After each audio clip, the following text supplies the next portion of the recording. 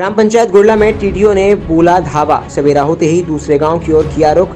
आपको बताते चले कि टीडीओ का कहीं ना कहीं रुकने का नाम नहीं ले रही है। लगातार किसानों को पड़ रही है दोहरी मार तो एक तरफ़ कोरोना के चलते सभी व्यापार ठप हो चुके हैं, वहीं दूसरी ओर टिड्डी दल के आक्रमण से भारत में कुछ दिनों से किसान बहुत ही परेशानी हो रही है।